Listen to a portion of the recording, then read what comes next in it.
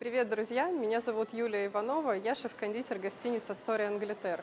Я приняла вызов в рамках «Руле Шеф Челлендж» от шеф-повара ресторана «Ле Мужик» Руслана Агейченко и приготовила в весьма необычной подаче коньячную бабу с кремом из ежевики, взбитым ганажем из ревеня, карамелизированными яблоками и ванильным шантили с коньяком.